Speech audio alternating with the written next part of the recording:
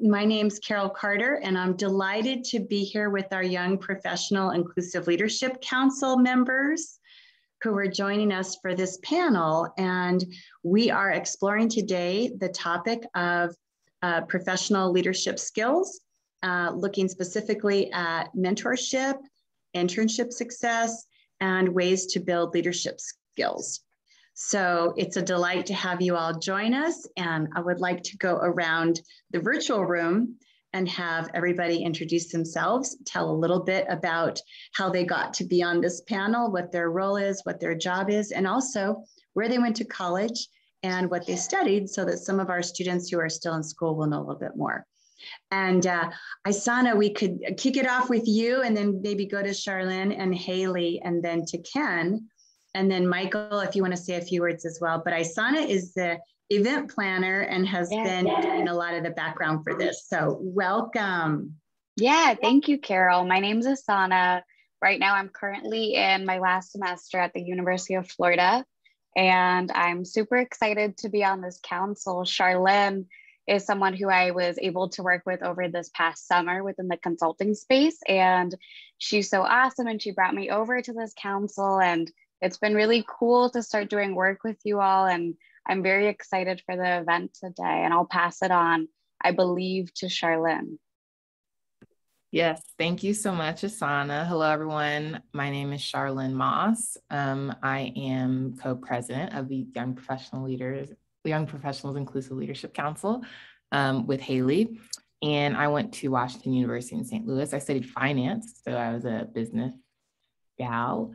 Um, and I'm really excited to be on this panel and talk through um, mentorship and professional skills with all of you. Hayley. Thanks, Charlyn. Uh, I'm Hayley. I am also co-president of the Young Professional Inclusive Leadership Council with Charlyn, who has just been awesome. Um, and thanks to Sana and the team at GlobalMindED for planning all of this and putting it together. Really excited to be here. Um, I went to Indiana University and I studied biochemistry um, with minors in gender studies and geology. And so now I am working at the Park People in Denver, which promotes trees and parks for a healthy, resilient future. And Hayley was also part of our um, 2017 first gen leadership class and then was an intern with GlobalMindED. So she has kind of an arc of time perspective um, on that. And uh, then we'll take you to somebody on our executive leadership council, and that's Ken Epps, who's just a phenomenal leader. Ken, tell us a little bit about your path, your story, and uh, your college experience, and then how you're now working with some of the young um, leaders within the GlobalMindED Stable. Okay, well, thank you, Carol, and thank you for inviting me to participate with this panel today, Carol. And, and uh, I want to just let the panel uh, of young leaders know how proud I am of you and how honored I am to be here with you today and look forward to the discussion around leadership. Um, I am on the other end of the spectrum. I've gone down the roads well traveled that uh, all of you have to look forward to. And I can tell you it should be an exciting journey for you as you go through your, your life and career. Uh, but I grew up here and I live in Charlotte, North Carolina now. I grew up in the area in uh, a little small town called Lake City, South Carolina, uh, the son of uh, farmers and and and scrappy parents. Let me just put it that way. And I always tell Cheryl, I, I always tell Carol, uh, give her my sharecropper story, but she cries too much, so I have to soften it a little bit. But uh, I grew up in South Carolina. I went to college at South Carolina State University, an HBCU in Orangeburg, South Carolina. Uh, majored in engineering. Uh, thought that engineering is what I wanted to do and be all my life. I did it for a while and then went back to school full time uh, to change careers. I like engineering, however, it's a great field, uh, but I wanted to change careers and I went to business school and uh, went to Stanford. And from Stanford, I went back into industry and through industry have been through telecom, healthcare, uh, startups, Silicon Valley, uh, you name it. So uh, I can share some experiences with you that will be uh, hopefully helpful uh, across all of those. I uh, got a chance to meet Carol and had an opportunity to join her team uh, uh, because I love what GlobalMindED is all about, how it's meeting young people where they are and how it's opening paths for them to be successful. That that is in line with with who I am and, and what I think is important. And I do think mentoring is important and key. So that's why I'm here and uh, look forward to helping out and, and being supportive and learning from you any way I can. Awesome. Thank you so much. And I'll also share that Ken is mentoring one of our students at North Carolina A&T. And also he's got, we call it an experimental group we call um, mentoring in the one to many, which actually it's he and his colleague Patty, and they're mentoring like a little cohort of like nine to 10 students. So instead of just one-to-one, we think it's also a very powerful model when you can do sort of the one to many, which is a little bit how we're going to be learning from each other today as well. So thanks everyone for those intros. And then um, Mike, do you want to go ahead? And then we can also meet Barbara and Kimberly and, and you can just share a little bit more about the program you've been working with and what these students have been doing. Absolutely. Thank you, Carol. Um, so my name is Mike Brokus. I'm a program manager for um, APLU, which is the Association of Public and Land Grant Universities. Um, so we're a, a, higher education nonprofit, um, uh, you know, dedicated to student equity, student success, personalized learning, um, uh, a lot of other things. Um, and we work in a, a network uh, of other nonprofit organizations uh, called the Every Learner Everywhere Network.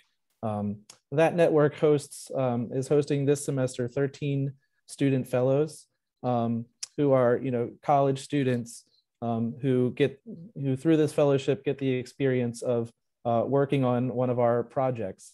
Um, so, for example, Kimberly is working with uh, with me and some others at APLU on a, a community of practice project um, where we're bringing together faculty from across institutions um, and specifically uh, promoting um, you know equitable and evidence-based teaching um, you know trying to work towards better student outcomes um, and then there's also a discipline specific focus. Um, so we're, we're focusing on biology, chemistry, uh, math, and writing specifically, um, and courses that we know um, are high enrollment courses that um, students of color, minoritized students tend to uh, not do as well in. And we're trying to address those, those sort of equity gaps.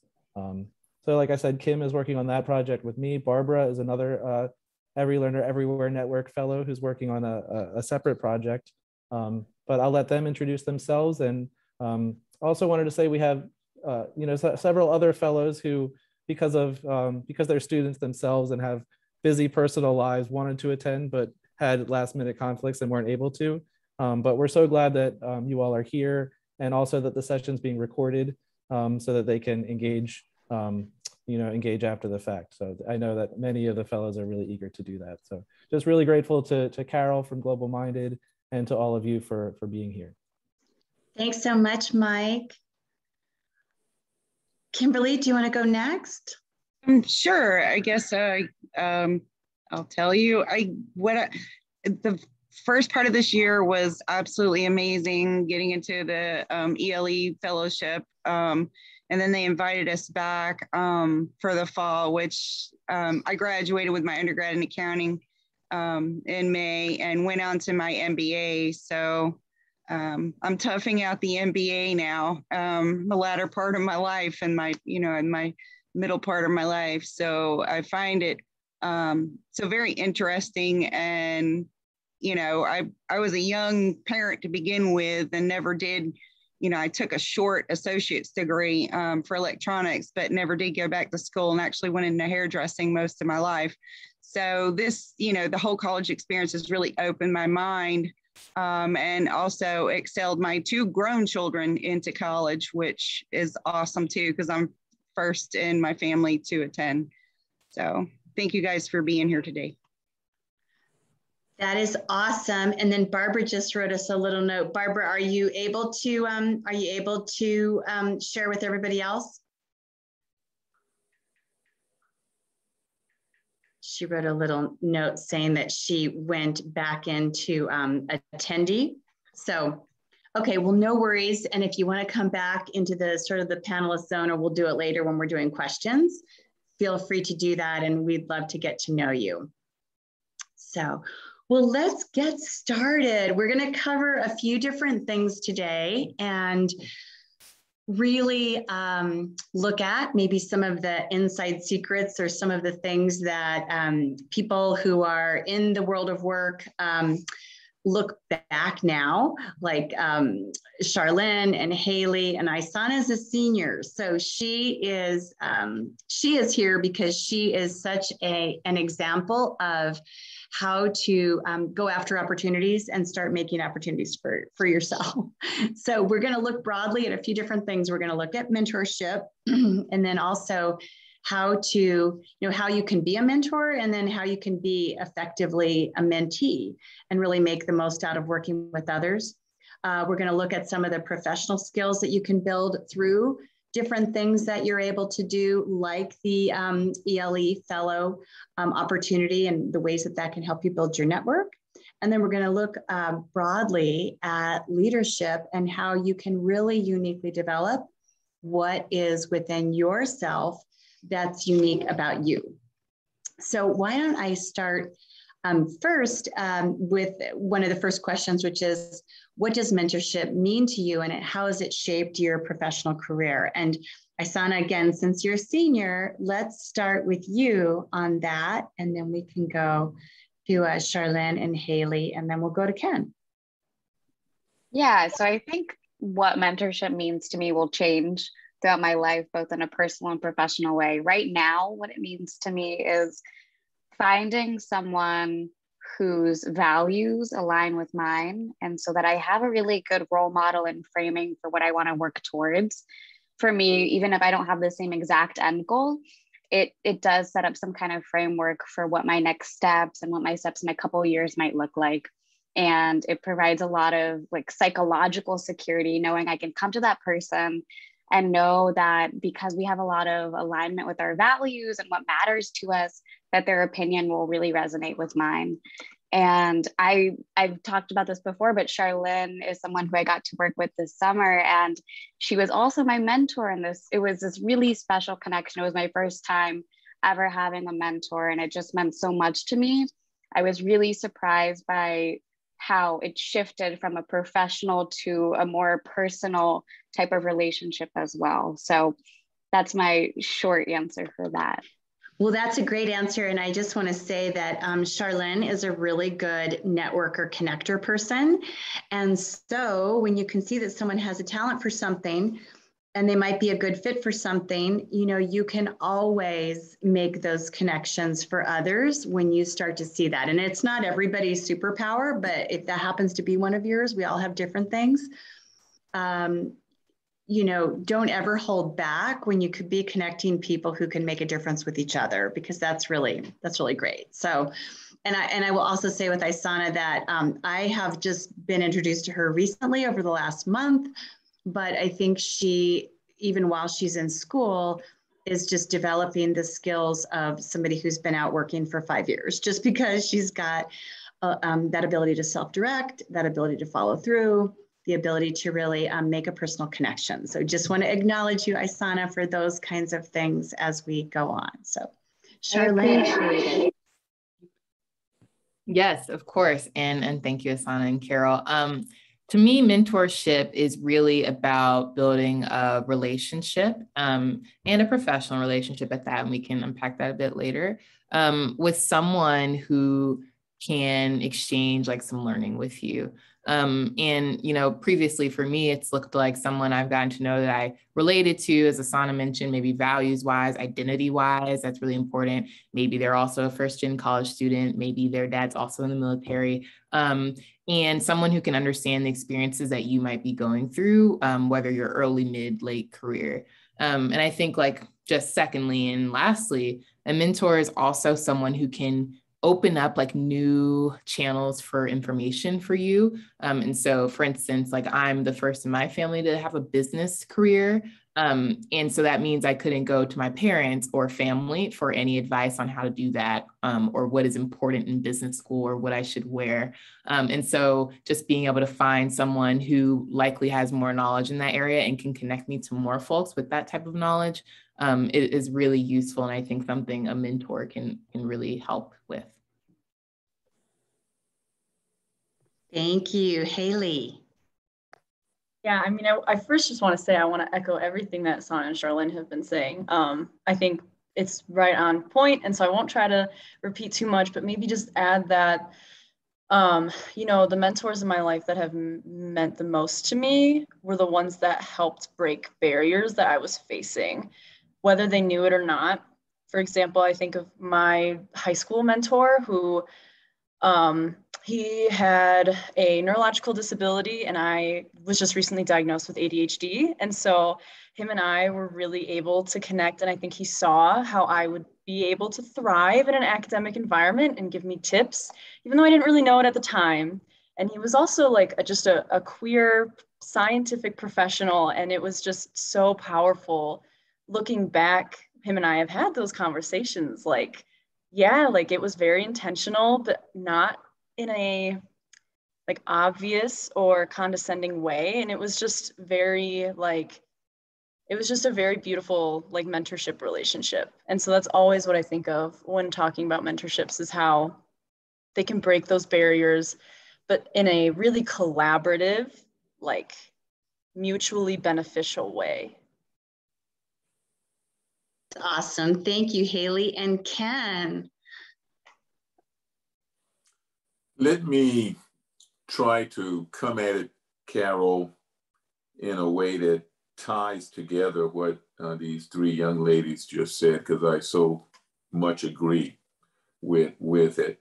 Um, and let me bring my own experiences of being mentored uh, into it as well. I, I think, uh, first of all, as a mentor, it's always an honor to, to, to have someone wanting to spend their time with you. So, as a mentee, you should always feel that you are really providing some value to the mentor uh, to have access to you and for you to open up about what's important. Um, I have the opportunity to, to be mentoring Donovan here at, at North Carolina A&T and some other kids in some other groups, as Carol has mentioned here. And the highest priority for me is to try to understand what's important to them. Because at the end of the day, I don't, I don't feel uh, and don't think at any, any level it's important for me to try to tell a young person what they ought to be. Um, it's my role, if I'm going to be helpful and supportive, is to try to figure out what it is that they really love and what they really have a passionate for, and how, if at all, I can help them get there. Um, and that is, is, is what it means to me to be part of a relationship uh, where it's a mentee and a mentor. So, so those, I, I would say that's central uh, to it and getting there. And then the last piece I'll just say on this part is there, as a mentor, you, there'll be people who are, should and will have uh, uh, interest in helping you and mentoring you, and they will be valuable at a certain portion in your life. So it's always important to have that thread of people and be open to relationships because uh, I think, as Hayley was just mentioning there, uh, that was a great relationship for the person uh, when she was, uh, does she think back when she was in high school? And you need those. And then there will be others who will be great for you when you're in college and you need those. And then there were others that will be great for you at different times in your careers. So it's a it's a collective process, and and you know be open to taking advantage of that as uh, as you go through you know through your school and in your career. Thank you so much, Ken, for that. And that kind of um, links to another question that Isana had put forth, which is, you know, how do you find a mentor? And right now, while you're in college, um, there are people who you should ask yourself Have you met these folks? Have you met your uh, professors that teach your classes? Have you met your teaching assistants that lead the sessions on Fridays? Have you met your advisor? And these are some people who might be able to play that role. Um, the other role is that the things that you join, like GlobalMindED or organizations on campus, these provide other webs of really interesting and diverse people that can help your world to be bigger. So that's to kind of answer that question. How do you find a mentor? I mean, I think it starts with just like have an intention that you want to meet somebody interesting. And like over the next week, you'll meet that cool person. But um, joining and being able to be open to that is another another way that that can happen. So that's one question but let me go back to everybody else with um, how do you set expectations goals and boundaries with your mentor? And why don't i i'm just going to start asking each of you different questions. So why don't we say charlyn if you can answer that one we'll go to some other questions for for the other folks yeah, of course. And I think, you know, a lot of that comes from a lot of self awareness and self reflection and intention, which I think Ken did a great job of just mentioning. Um, because you can meet someone and they can give you a cake and like present the cake to you. And if you are not like comfortable with self enough to say, hmm, this cake is for me, I can take it, then that opportunity is gone for you. Um, and so when when you want to uh, just be able to like glean opportunity, present yourself in a way where your mentor is passing things to you. Um, it's going to require just some some energy and motivation and just openness to to something that might bring you out of your comfort zone, which I think um, a lot of what mentor relationships can do for you, right? It's someone that likely has more experience or knowledge in a field that you don't, which is something like naturally uncomfortable for you because you don't have that knowledge. And just being able to listen and accept and trust um, can be really important. Um, when thinking about like building trust between you and your mentor and boundaries, I think, you know, the first thing you want to do is focus on the relationship. Um, yes, you want it to be um, something that benefits both of you. And so that's you bringing your energy and the mentor bringing knowledge, experience, care. Um, and you want to really respect that. So you might um, you want to get to know your mentor. What do they like to do? What do they know about? What are they involved in? And you want your mentor to know about you because you want to be in the back of their mind when they're hearing about things that they think you would be perfectly slotted for. Um, and so you just want to potentially like have regular check-ins.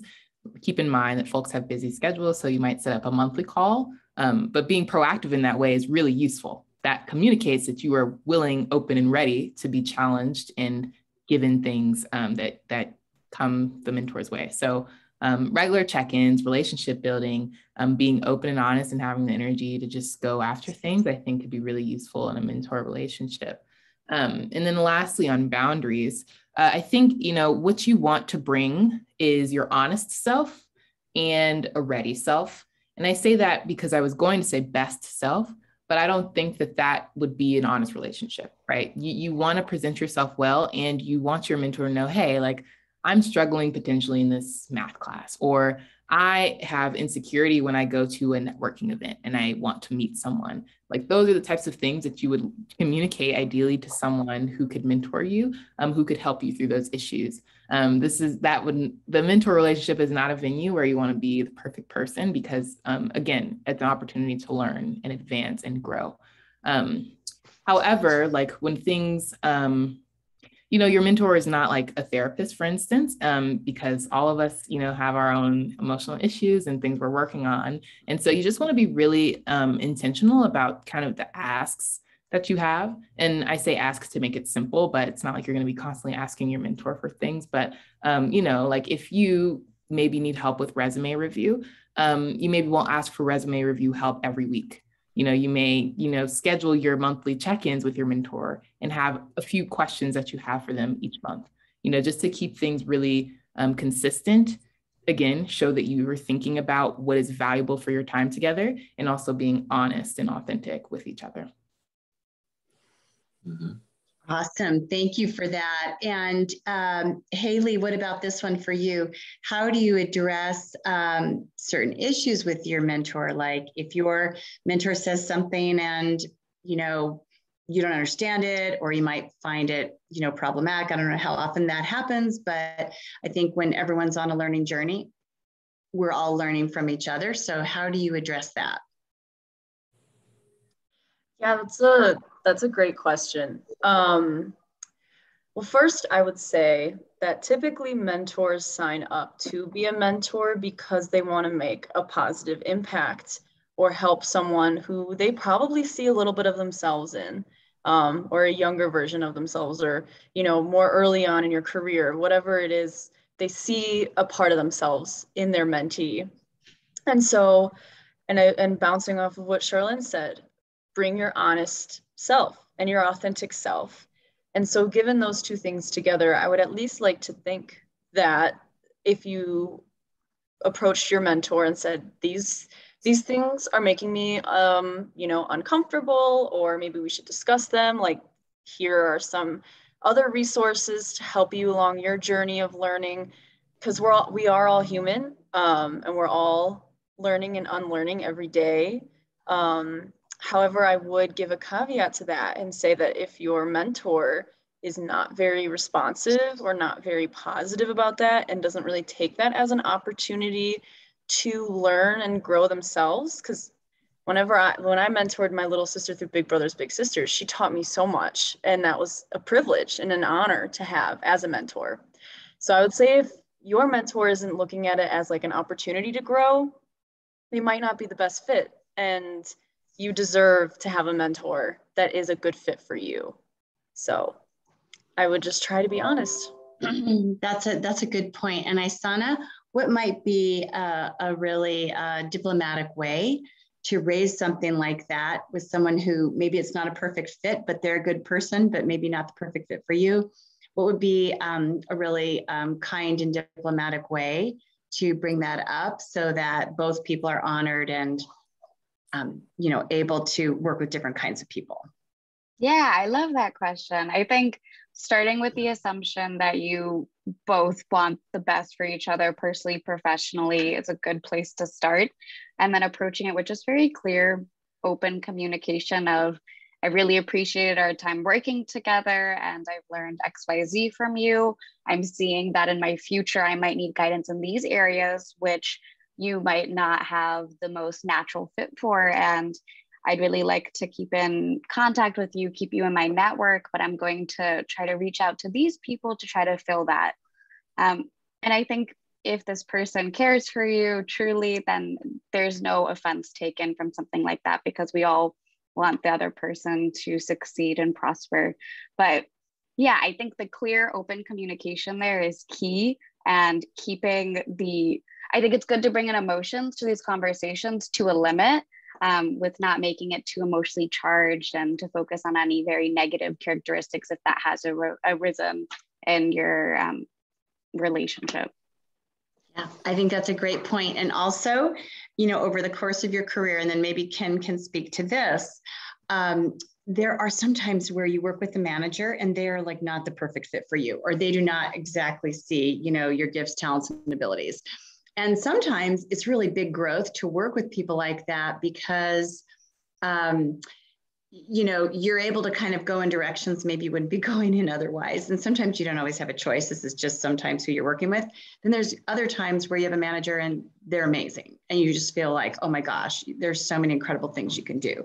But Ken, can you speak to those kinds of situations and how yeah, you maneuver yeah. those uh, situations? Yeah. I most I most certainly can. And let me try to not be so verbose because I can go on for a long time on, on those things. And I, I think Isana and Charlyn and Hayley has done a great job teeing them up.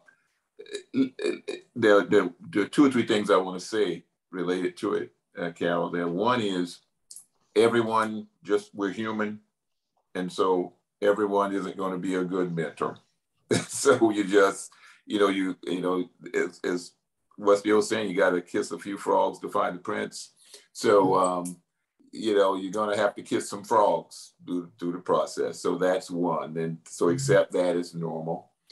The, the second thing though is it, when you find a good mentor, one of the things they want to do is broaden your network.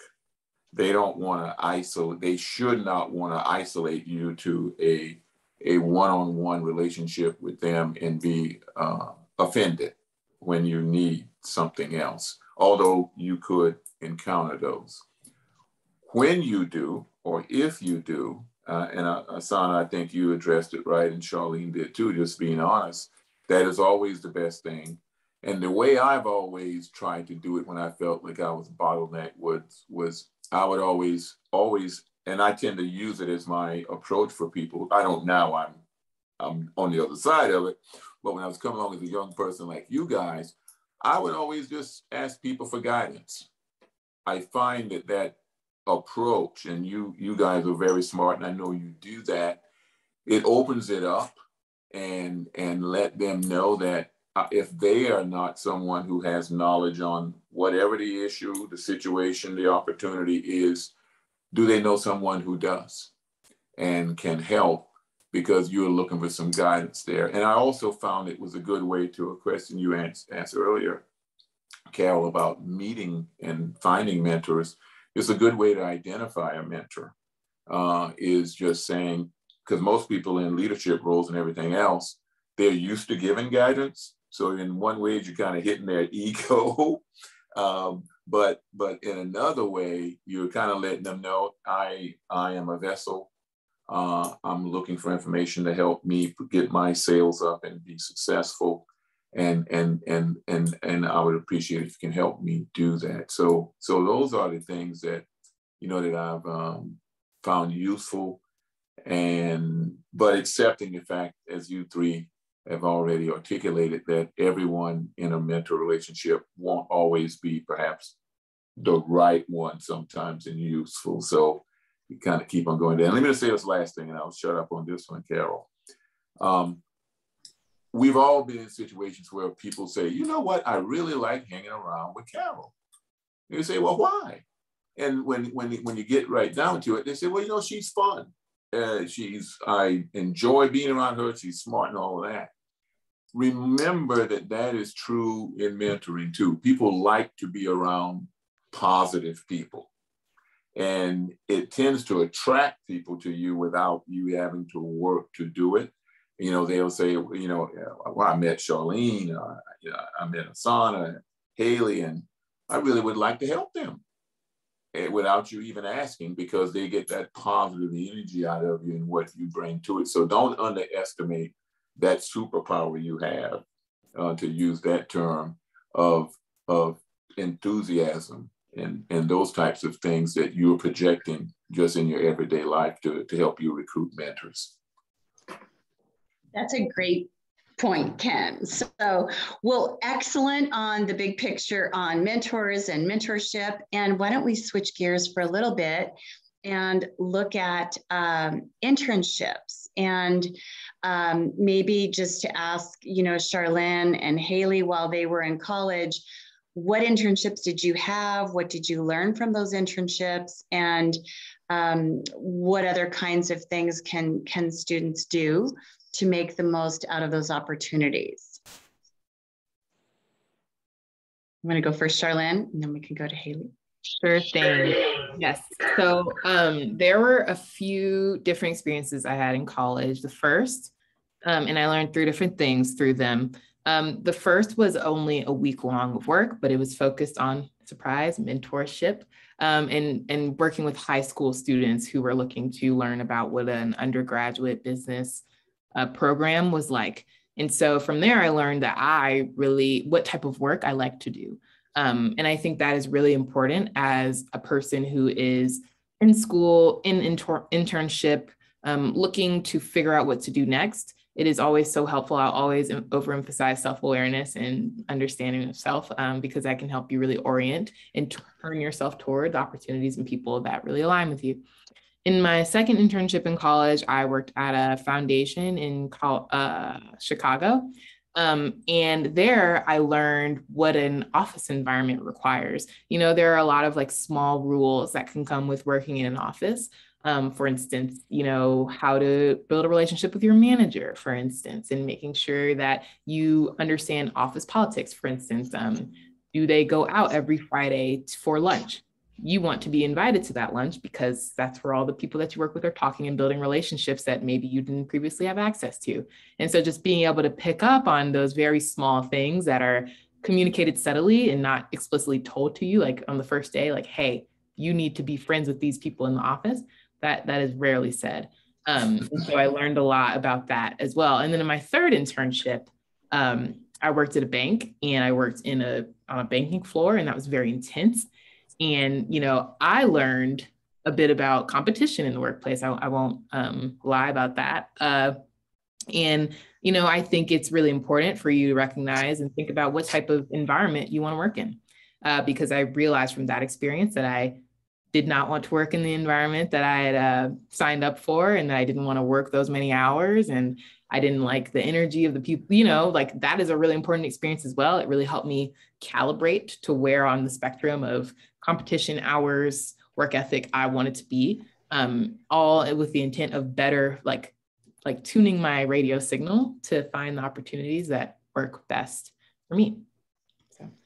Thank you, Charlyn. And then I'm just going to quickly share before we go to Hayley that I had um, two internships when I was in college, and both of them were things that I was not meant to do. Like I thought I wanted to be a lawyer, and I worked in Washington D.C. one summer, you know, for Common Cause and one of our senators, and I met a lot of lawyers and I was like, you actually have very little in common with these folks. And not that they're not lovely people, but I just knew like that was not going to be the thing.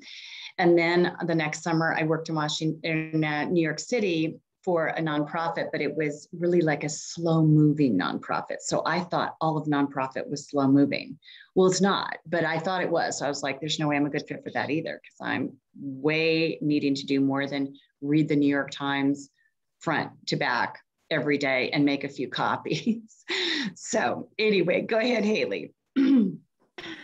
Thanks. Um, good thoughts from both of you. I would say that generally from my internship experiences, I have learned what I don't want to do, what I do want to do, and then how to do it. Um, because similar to kind of what Charlyn said about just learning about the office environment and how no one in their family had ever been in a business world position. Um, being a first generation college student and like growing up below the poverty line, like I had no idea what the professional world looked like.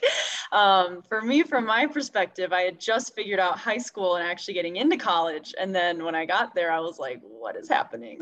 Um, and so a lot of my family kind of pressured me to go that like really hard science way because it's very stable. You've cracked into college, just go the most stable academic route. And from my first internship working as a research associate in a biochemistry lab, I learned that sitting in a quiet, like sterile, lonely environment is not great for someone with ADHD. so I was like, no, this cannot be my world. This like I need more going on.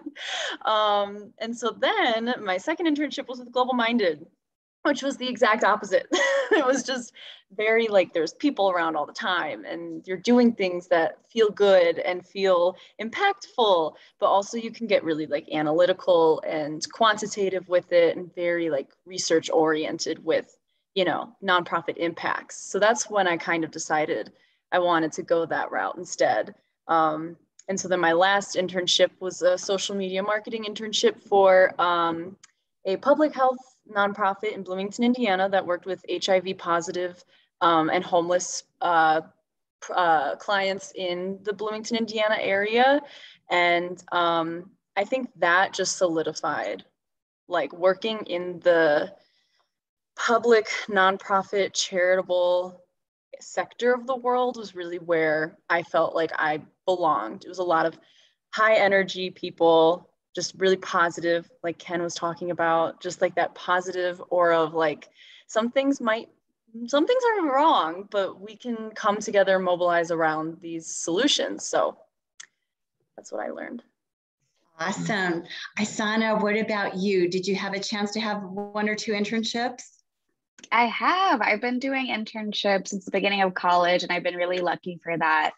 I think the biggest thing for me has been redefining what networking meant for me. I think coming into college, I saw networking as a very transactional type of relationship where I'm I'm very focused on personal relationships and interpersonal relationships, and I like for them to feel deep and meaningful. And I saw networking as this kind of facey connection I had with someone where I was asking for something and it felt bad for me. And so I realized that networking can be really different from that. And I could have some kind of genuine connection. And that extends to internships, as in when you get your internship, you're still in that interviewing process for some future opportunity or future connection. And so this past summer, I was in a virtual landscape and it was in some ways a lot more challenging to connect with people and to feel like I had deep connection. So I had to be very intentional. Um, and with that came this understanding that these people really just want you to come with enthusiasm. Um, I had some imposter syndrome going into that, and understanding that I was there for a reason was really big for me. And I think any young professional or college student grapples with those feelings. So finding security and knowing I was supposed to be there was huge. That's great. Thank you. And Ken, you've managed interns and you've managed um, employees uh, in their first couple of years out of college. And so, what are the kinds of things that really allow people to stand out as far as you're concerned as a manager of somebody who can do really good job on that internship? What are those qualities that would get them a job offer?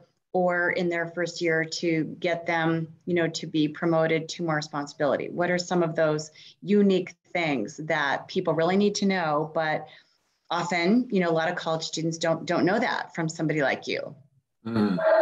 Well, um, internships are for on the on the provider side are sometimes difficult to pull off.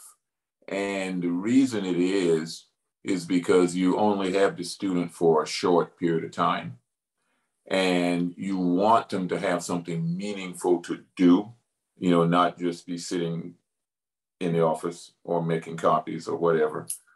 Uh, so from the from the management side, it's a uh, it's hard to it, it's companies don't tend to do internships well. Let me just put it that way. In general, companies don't do them well. And if you gave all the interns truth serum coming out of the internships, you really get some serious learning that that is true. But but but the characteristics that shine through to your question, Carol, is um, one, you still like to see the students have some perseverance. You want that, and most interns who who get these opportunities do. You you if there's some way for them to show um, what I, I kind of like to call, uh, for lack of a better word, let me just call it curiosity.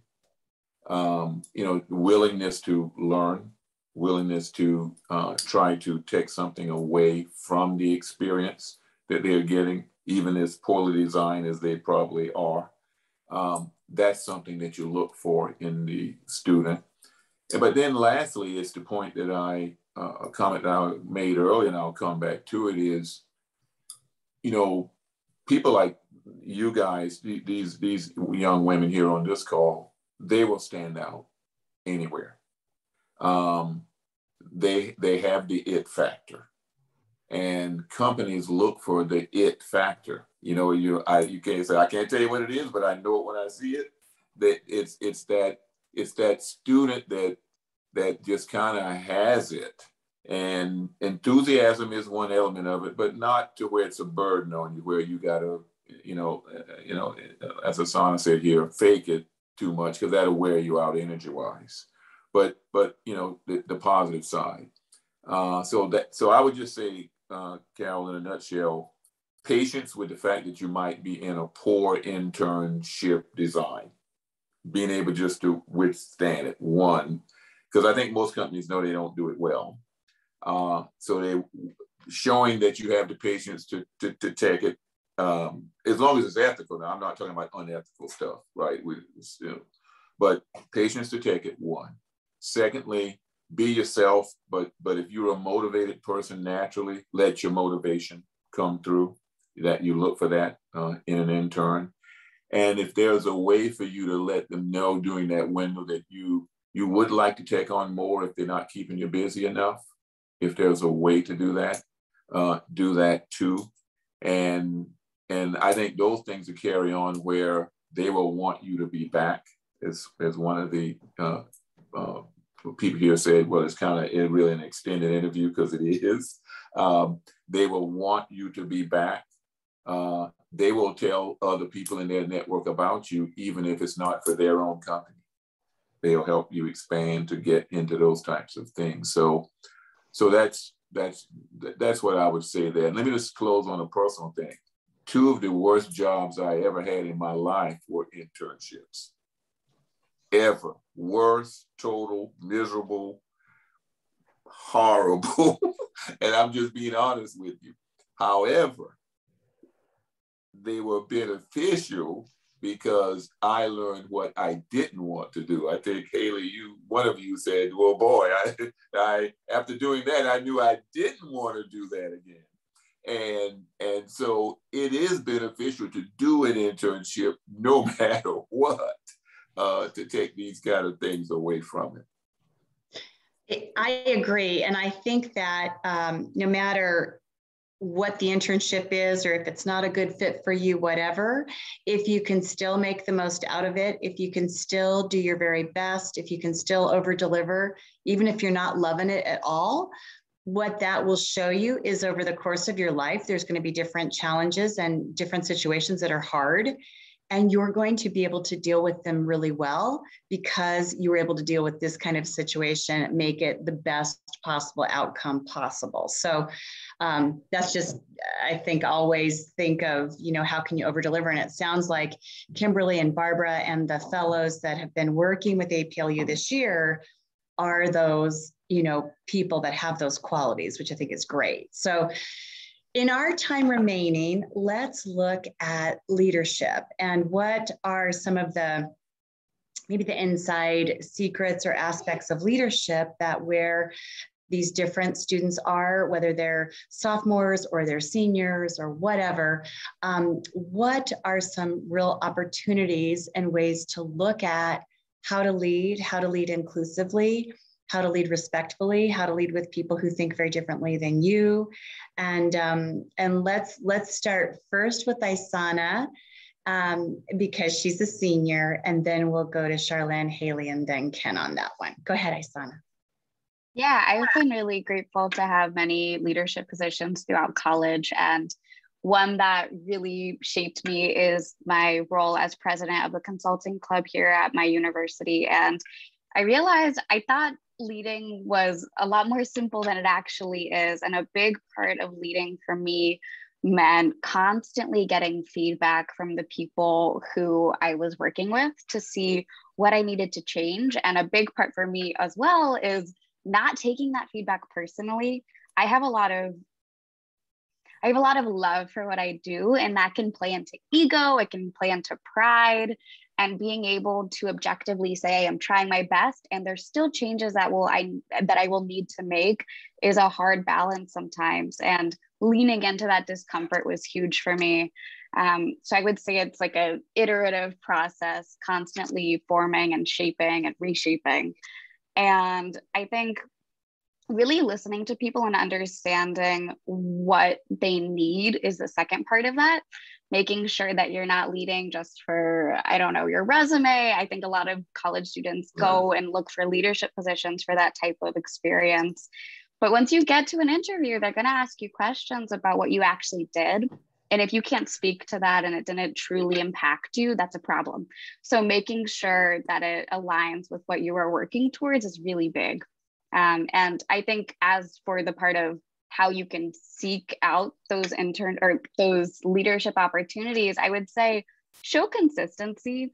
If you are focusing on one organization that you really like, make sure you're showing up to their meetings for their weekly meetings or whatever it might be, and work your way up. Make sure you're forming personal connections with the people existing already on the executive leadership board. And with that enthusiasm and consistency comes trust and they will want you to be a part of their team because they can see easily what you would contribute I think that's such a great point that idea of people who are really delivering outcomes versus window dressing. And um, people are especially sensitive right now, coming out of the last um, couple of years, been so difficult. Um, that they really want to make sure people are who they say they are and that they're not padding their resumes or saying that they, you know, they were in X job, but they can't tell you one thing they did in that job. And so really a key point, Isana. Uh, Charlyn, go ahead. Yes, I, when I think about leadership, and so grateful and honored to have leadership opportunity, um, it to me a lot of it is about empathy. I, am very like people oriented, and I think um, when you're trying to motivate a bunch of people toward a goal and you know also support people's like natural strengths all of that has to do with like kind of stepping outside of yourself to understand what people are good at, what energizes them, and kind of like the challenges they're dealing with. Um, and so, like for instance, in college, that looked like on e-boards, like if someone's dealing with a really stressful time in school with classes right now, well, then okay, like how is that manifesting in this group meeting? And like I, we need to be aware of that as president or leadership and um, how can I be supportive of getting the work done and, and, and move away from shame, blame, any other like negative spill of emotion that can come from that, that can come from having a less than empathetic view. Um, and so I think it's just really important, like especially with leadership, usually comes some level of power, right? That um, you you aim to distribute it uh, and be really just um, a person still, right? You don't like the ego or the pride get in the way of you being a person that connects to the people that you are leading, that understands that all of you are working towards something really big. You want everyone to be energetically invested in that so that people stay motivated. And so I think it's just really important to be connected to, to the folks you work with. Oh, Carol, you're muted. Hold on. Michael has just asked to get questions from Kimberly and Barbara. So maybe we could get some questions and then Haley and Ken can answer those questions if you all want to unmute and, uh, and ask your questions. We'd love that in the time remaining.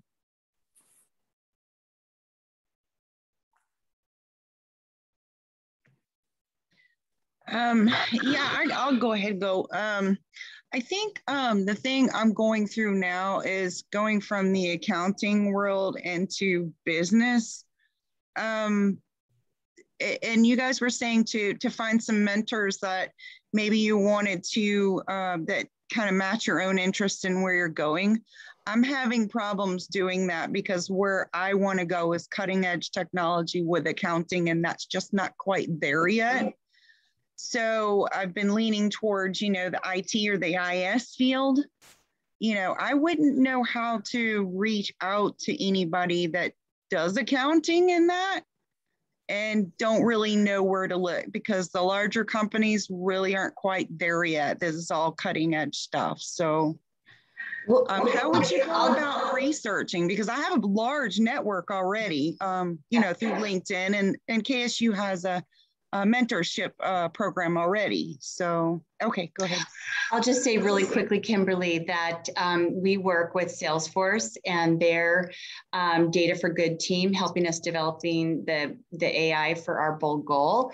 And some of those folks are from the, the you know, the finance department and some from accounting. So maybe we can network through them because I think there is that Venn diagram of what you're talking about. So we can reach out to them and uh, see if there's a way that you could have um, an internship or a mentor or something through the, through them. Yeah, that would be awesome. I actually have somebody in one of my classes who's um, works for Salesforce, so it's pretty interesting. yeah, yeah, that, that sounds really cool. Partner of ours, yes. Um, Barbara, do you have any questions? I know you guys have to leave in like three minutes. We want to make sure we get your, your questions answered. I guess the one question I have is what do you look for most in the overall quality of what you've enjoyed in an internship? What what what do you see as the main factor or main growth or something that you want to see from interns? Hayley, you want to go pretty quickly and then we can go to Ken? Yeah. Um, so I think you asked from interns. So I don't know. I can give my own personal, like what I got, got from it. And I just think it's I, whether you're looking for an internship, it's kind of a crapshoot and a kind of a risk. So I would just try to find an organization that you think at least aligns, like their mission aligns with what you're interested in. And then um, while you're there, to, in order to get the experience that you want, be willing to have that conversation with your supervisor and just say, hey, like, I heard through the grapevine that this is something you're working on. Can I get some hands on that? Or, you know, just try to be as communicative as possible um, so that you can get involved in things that you want. Thanks, Hayley. Ken, go ahead. We have exactly, I think, like two minutes to, to close. So, yeah. So, so, so to, to the last question there, I, I totally agree with Hayley. And, and if you're looking for something, that's a perfect way to go about it, as, as Hayley mentioned. And in terms of your in the intern uh, role, we talked about it earlier, but I would just simply say in a nutshell, try to be sponge-like, absorb as much as you can, because that's why you're paying the price you're paying for going to the internship. And so, so that's what I would just say there. Um, and I want to go back, if you don't mind, Carol, take a second on uh, uh, one of the other questions that Charlyn was talking about. Uh, and and it was, uh, I can't remember the specific question, but one of the things I want to add to it, because I thought her answer was so good, was um, no matter what you do, all of us, and I think this is a life principle, um, you want to, oh, empathy. It, it, was where the comment when she was talking about empathy, that is one of the great skills, attributes all humans could have. And it goes in your personal life, professional life. It will support you for a long time. So, you know, do that and be that because people like that. And pair that with be authentic. Just know who you are. And as soon as you can, get comfortable in your own skin. Uh, and let that follow you through your internships, through your professional life, and through mentoring, because people love that. They know now that it's not artificial. Uh, Thank you, Kimberly and Barbara. They have to jump, but you know what, guys? We can do a couple of minutes kind of after talk. We'll just do maybe one one more thing since we're recording this. And um, why don't we just very quickly go around one more time because I think both Barbara and Kimberly have to jump off. But Thank you, ladies, for being here. And we're looking forward to working with the rest of your colleagues and other folks in our um, internship network. And we hope you'll watch those Inclusive Leader Awards that um, Mike provided you the link for, because I think you'll see a lot of amazing people there who can also be really great for perspective in terms of their life path. Thanks, guys. And Mike, we'll just do a real quick kind of a summary here so that when we record this, we'll have that for people who are watching it later. When he makes, is that, that okay? Great. Yeah, that sounds great. Thank you, Carol. And thanks to all okay. of you. Okay, excellent. All right.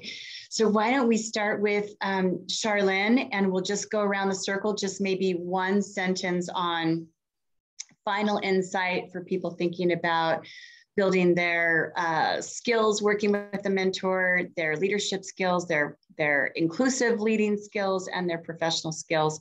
Maybe just um, a final insight from each of you, and we'll start with Charlyn. Yeah. Um, well, get to know yourself, but don't force it. Um, is what I would say. There will be opportunities, people, things. Um, you want to just accept the things that feel good to you. So. Great. Hayley? Yeah, I just want to mention that I think every single person on this panel at one point or another said something like, I didn't know what I was doing, or I didn't like this, or I did not want this. And that is okay. It is okay to try something and not like it and maybe fail along the way. Isana, go ahead. Yeah, find clarity with what you want, both per personally and professionally and have that reflected in who you choose to be your role model and be proactive about finding someone. Usually people like helping people out. So don't be too scared about reaching out and trust that it's going to work out. Ken? Just always be willing to listen and be willing to learn and I always love the um, the Winston Churchill quote that success is the ability to go from one failure to another with no loss of enthusiasm. I was a senior in college, not anywhere near as mature as Isana. And I didn't even know what I wanted to do by Christmas. And my brother kind of helped me think it through. So, you know, I think you have to trust in yourself in the process and and work hard and be a good person and really great things will will open up to you. So, thanks to all of you and Mike, do you want to kind of close it out? Sure. Well, thank you all. Thank you all very much. I think, um, you know, as I said in the chat to, to Kim and Barbara, I think there's uh, just a tremendous wealth of really good advice and just um, and just to hear each of your stories, I think itself is really valuable too. Um, so, you know, I thought this was terrific. Um, all the sort of questions I had jotted down, you you kind of, you know, organically answered it just by, you know, um, through you know through Carol's moderation and your own, you know, what you felt like sharing. I think uh, ended up being really terrific. Um, so just just really grateful, and I think it'll be a tremendous resource for our uh, Every Learner Everywhere student fellows. Thank you. And we will send you all the link later. And also, just so you know, Mike, and you can share that um, on the 10th, the Young Professional um, Inclusive Leaders Council is having another event. And so all of your folks are welcome, you know, for any of their sessions, any of our monthly equity sessions, anytime. So we'll continue to knit these different um, worlds together for these kinds of resources. Sounds fantastic. All right, everybody, have a wonderful weekend. Thank you so much for making time for this. And it was really fun to be with you all for the last hour.